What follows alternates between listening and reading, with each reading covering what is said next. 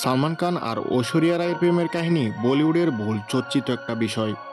উনিশশো সাতানব্বই সালে সালমানের সাথে প্রেমের সম্পর্কে জড়িয়ে যান সাবেক বিশ্ব সুন্দরী ঐশ্বরিয়া রায়। ওরে বাপরে বাপ, কি সৌভাগ্যই না ছিল সালমান খানের। সে সময় সর্বমহলের খবর ছিল, সালমান হয়তো ঐশ্বরিয়ার সঙ্গে মালা বদল করবেন, কিন্তু শেষ পর্যন্ত সেটা হয়নি। ঐশ্বরিয়া নিজেই সালমানের সঙ্গে বিচ্ছেদ ঘটায়।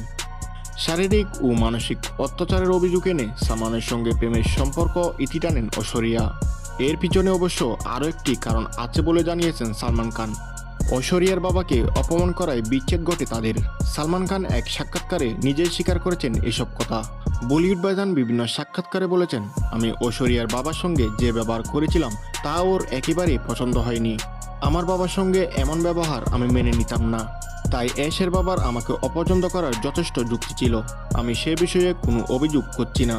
ঐশ্বরীয় পরবর্তী সময়ে জানান, নিজের সম্মান রক্ষার্থে সম্পর্ক থেকে বেরিয়ে আসার সিদ্ধান্ত নেন তিনি। তিনি মনে করেন তখন তার জায়গায় অন্য কেউ থাকলেও এমনটাই করতেন। তবে বলিউডে আরও কিছু কিচ্ছা কাহিনী রয়েছে সালমান আর ঐশ্বরিয়ার বিচ্ছেদ নিয়ে। প্রথম দিকে নাকি তারা কেউ চায়নি তাদের প্রেমের কথা জনসম্মুখে আসুক। শোনা যায় ঐশ্বরিয়া রায়ের জন্য নাকি রীতিমতো পাগল ছিল বলিউড সুপারস্টার সালমান।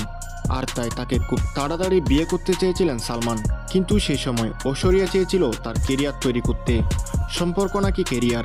এমন প্রশ্নের পর বিশ্বসুন্দরী নাকি চেয়েছিলেন তার কেরিয়ার স্বপ্নগুলোকে বাস্তবে রূপ দিতে। তাই তিনি একটু সময় চেয়েছিলেন সালমানের কাছ থেকে। কিন্তু সালমান খানের এই অতি তাড়াতাড়ি বিয়ের প্রস্তাবে অসন্তুষ্ট হয় বর্তমান বচ্চন পরিবারের বৌমা। ঐশ্বরিয়ার এমন সিদ্ধান্ত মেনে নিতে পারেনি সালমান। আর ঠিক এই কারণেই নাকি ঐশ্বরিয়ার সাথে বিচ্ছেদ ঘটান সালমান। তারপরেও ঐশ্বরিয়ার প্রেমে পাগল হয়ে বিভিন্ন পাগলামিতে মেতেছিলেন সালমান। একদিন নাকি সালমান খান ঐশ্বরিয়া রায়ের বাড়িতে গিয়ে দু ঘন্টারও বেশি সময় দরজা ভাঙার চেষ্টা করেন। ঐশ্বরিয়া দরজা না খুললে বিল্ডিং থেকে জাপ দিয়ে মরে যাওয়ার কথাও বলেন সালমান। যদিও সালমানের এমন পাগলামির পর কিছু সময়ের জন্য দরজা খুলেন ঐশ্বরিয়া রায়। তাহলে তো বোঝাই যাচ্ছে প্রেমিক হিসাবে সেই লেভেলের পাগল ছিল আমাদের বাইজান। আর সে কারণেই হয়তো কোনো সম্পর্ক এক মাসের বেশি টিকে না তার।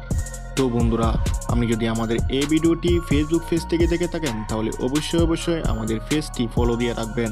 আর আপনি যদি বর্তমানে আমাদের এই ভিডিওটি ইউটিউবে দেখে থাকেন, তাহলে অবশ্যই অবশ্যই আমাদের চ্যানেলটি সাবস্ক্রাইব করবেন।